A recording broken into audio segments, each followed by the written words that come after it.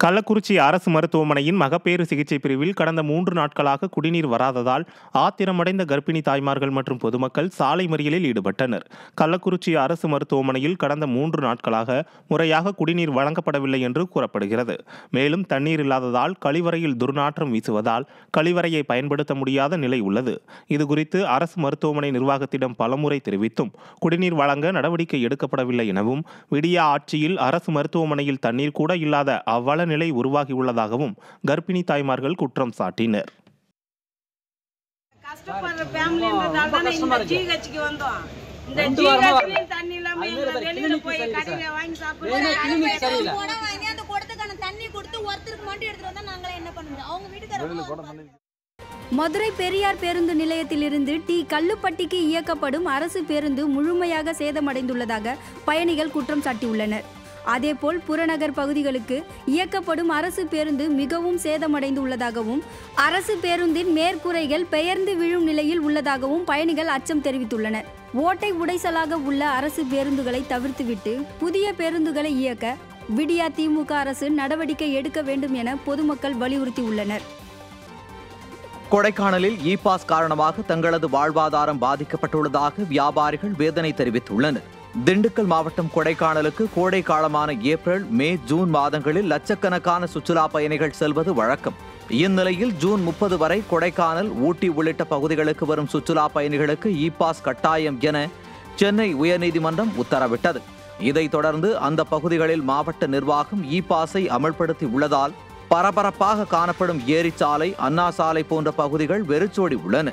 தொண்ணூறு சதவீத மக்கள் சுற்றுலா தொழிலை நம்பி வாழ்ந்து வரும் நிலையில் இ பாஸ் நடைமுறையால் தங்களது வாழ்வாதாரம் பாதிக்கப்பட்டுள்ளதாக வேதனை தெரிவிக்கின்றனர் இந்த மாதிரி ஒரு சீசன்னு நாங்கள் பார்த்ததே இல்லை.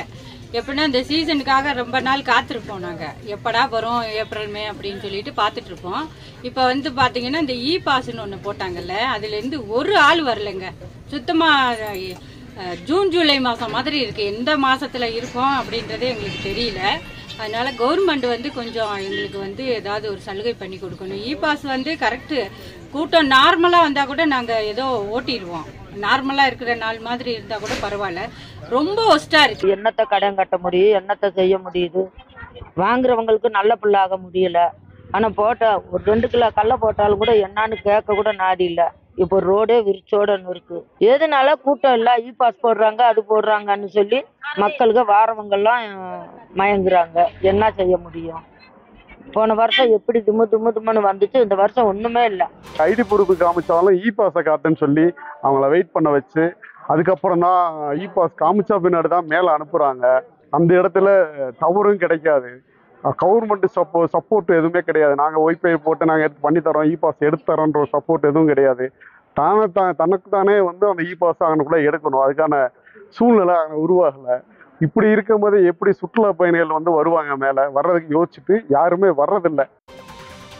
புதுக்கோட்டையில் நகைக்கடை ஒன்றில் இந்திய தர நிர்ணய பணியகத்தின் அதிகாரிகள் மேற்கொண்ட சோதனையில் பிஐஎஸ் ஹால்மார்க்குடன் இல்லாமல் விற்பனைக்காக வைக்கப்பட்டிருந்த ஆறு கோடி ரூபாய் மதிப்பிலான தங்க நகைகளை பறிமுதல் செய்தனர். தெற்கு ராஜவீதியில் மாணிக்கம் என்பவர் நடத்தி வரும் நகைக்கடையில் விற்கப்படும் தங்க நகைகள் பிஐஎஸ் ஹால்மார்க் எண்ணுடன் இல்லாமல் விற்கப்படுவதாக தொடர்ந்து புகார் வந்துள்ளது. இதையடுத்து மதுரையைச் சேர்ந்த இந்திய தர நிர்ணய பணி அதிகாரிகள் திடீரென அந்த நகைக்கடையில் சோதனை மேற்கொண்டனர். இந்த சோதனையில் விற்பனைக்காக வைக்கப்பட்டிருந்த தங்க நகைகளில் பிஐஎஸ் ஹால்மார்க் எண் இல்லாமல் விற்பனைக்கு வைத்திருந்த ஒன்பது கிலோவிற்கும் மேலான சுமார் ஆறு கோடி ரூபாய் மதிப்பிலான தங்க நகைகளை அதிகாரிகள் பறிமுதல் செய்தனர். சென்னை எண்ணூரில் இரவு நேரங்களில் தொடர்ந்து மின்வெட்டு ஏற்படுவதாக கூறி பொதுமக்கள் சாலை மறியலில் ஈடுபட்டதால் பரபரப்பு ஏற்பட்டது. எண்ணூர் நேரு நகர் பகுதியில் தொடர்ந்து இரவு நேரங்களில் மின்வெட்டு ஏற்படுவதாகவும் இது குறித்து மின்வாரிய அலுவலகத்திற்கு புகார் தெரிவித்தால் அதிகாரிகள் உரிய பதிலளிப்பதில்லை எனவும் அப்பகுதி மக்கள் குற்றம் சாட்டியுள்ளனர். மேலும் தொடர் மின்வெட்டு குறித்து திமுக கவுன்சிலரிடம் கூறினால் சாலையில் இறங்கி போராடுங்கள் என அலட்சியமாக கூறுவதாக வேதனை தெரிவித்த அப்பகுதி மக்கள் கத்திவாக்கம் நெடுஞ்சாலையில் மறியலில் ஈடுபட்டனர். தகவல் அறிந்து சம்பவ இடத்திற்கு சென்ற காவல்துறையினர் மற்றும் மின்வாரி அதிகாரியை முற்றுகையிட்டு பொதுமக்கள் வாக்குவாதத்தில் ஈடுபட்டதால் பரபரப்பு ஏற்பட்டது. விடியா திமுக ஆட்சியில் தமிழகத்தில் மின்வெட்டு தொடர்கதையாகி வருவதாக பொதுமக்கள் கொந்தளித்து வருகின்றனர். பத்தாம் வகுப்பு பொதுத் தேர்வில் புதுச்சேரி மற்றும் காரைக்கால் பகுதிகளில் எண்பத்து ஒன்பது புள்ளி ஒன்று நான்கு சதவீத மாணவ மாணவிகள் தேர்ச்சி பெற்றுள்ளனர். பத்தாம் வகுப்பு பொதுத் தேர்வு முடிவுகளை புதுச்சேரி அரசு பள்ளி கல்வி இயக்ககம் வெளியிட்டது. அதன்படி புதுச்சேரி மற்றும் காரைக்காலில் உள்ள அரசு பள்ளிகள் எழுபத்து எட்டு புள்ளி பூஜ்ஜியம் எட்டு சதவீதமும் தனியார் பள்ளிகள் தொன்னூற்று ஆறு புள்ளி ஆறு பூஜ்ஜியம் சதவீதமும் தேர்ச்சி பெற்றுள்ளது. புதுச்சேரி மற்றும் காரைக்கால் பகுதியில் உள்ள நூற்று ஏழு அரசு பள்ளிகளில் எட்டு பள்ளிகள் நூறு சதவீதம் தேர்ச்சி பெற்றுள்ளது. ஆங்கிலத்தில் இருபது பேரும் கணிதத்தில் முன்னூற்று ஐம்பத்தைந்து பேரும் அறிவியலில் எழுபத்து ஏழு பேரும் சமூக அறிவியலில் நூற்று ஒரு பேரும் நூற்றுக்கு நூறு மதிப்பெண்கள் பெற்றுள்ளனர். சென்னையில் உள்ள சவுக்கு சங்கர் அலுவலகம் மற்றும் இல்லத்தில் போலீசார் சோதனை நடத்தினர். சென்னை தியாகராய நகரில் உள்ள சவுக்கு மீடியா அலுவலகத்தின் பூட்டை உடைத்த போலீசார் சோதனை மேற்கொண்டனர். இதேபோல் மதுரவாயலில் உள்ள சவுக்கு சங்கர் இல்லத்திலும் போலீசார் சோதனை நடத்தினர். கஞ்சா வழக்கில் கைது செய்யப்பட்ட சவுக்கு சங்கரின் அலுவலகத்தில் கஞ்சா உள்ளதா என்ற கோணத்தில் போலீசார் சோதனை நடத்தியதாக கூறப்படுகிறது. விடியா திமுக அரசு சவுக்கு சங்கருக்கு மட்டும் இவ்வளவு முக்கியத்துவம் கொடுத்து தீவிர நடவடிக்கை மேற்கொள்வது ஏன் என பொதுமக்கள் கேள்வி எழுப்பி வருகின்றனர். திருச்சி மாவட்டம் மணப்பாறை அருகே குடிநீர் தொட்டியை சரி செய்து தரக்கோரி பலமுறை புகார் மனு அளித்தும் எந்தவொரு பயனும் இல்லை என பொதுமக்கள் குற்றம் சாட்டியுள்ளனர். குமாரவாடி ஊராட்சியில் உள்ள அன்னசமுத்திரம் கிராமத்தில் நீர்த்தேக்க தொட்டியின் மேல் மூடி தொட்டிக்குள்ளேயே உடைந்து விழுந்து சேதமடைந்துள்ளது. மேலும் குடிநீர் தொட்டிக்குள் பறவை இனங்கள் இறந்து கிடப்பதால் குடிநீர் கடும் துர்நாற்றம் வீசுவதாகவும் தண்ணீரை குடிப்பதால் நோய் தொற்று ஏற்படுவதாகவும் அமைச்சர் எம்பி ஆகியோர் இந்த தண்ணீரை குடிப்பார்களா எனவும் தாங்கள் குடித்து உயிர் வாழ்கிறோம் எனவும் ஆதங்கம் தெரிவித்துள்ளனர். பலமுறை புகார் அளித்தும் நடவடிக்கை எடுக்காமல் மக்களவைத் தேர்தலை ஒட்டி ஊராட்சி மன்ற நிர்வாகத்தினர் தொட்டிக்கு தார்பாய் போட்டு மூடு விழா கண்டனர் எனவும் குற்றம் சாட்டினர். தேங்கு இடிஞ்சு நொறுங்கி உள்ளே விழுந்துருச்சு காலவை.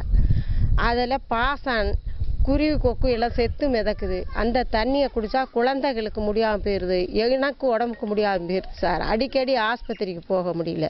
தலைவலி காய்ச்சல் வந்துடுது எத்தனையோ முறை எம்பி எம்பி எம்எல்ஏட்டு மனு கொடுத்துருக்கும். புகார் அளித்தோம் க ஊராட்சி மன்ற தலைவர் கவுன்சிலர்கிட்ட முறையிட்டுமே இது வரைக்கும் அந்த கட்டுறதுக்கான நடவடிக்கை யாருமே எடுக்கிற மாதிரி தெரில எந்த அதிகாரியை கேட்டாலும் இந்த வரைக்கும் ஆயிடுச்சு ஆயிடுச்சுன்னு சொல்கிறாங்க நான் அமைச்சு தரல அந்த மக்களுக்கு. இந்த மாதிரி அந்த எம்எல்ஏட்டும் வந்து மனு கொடுத்துருக்காங்க எம்பிட்டும் கொடுத்துருக்காங்க. இதே எம்எல்ஏ எம்பி வந்து இந்த கிராம மக்களோட இருந்து ஒரு நாளைக்கு இந்த தண்ணியை குடிப்பாங்களா?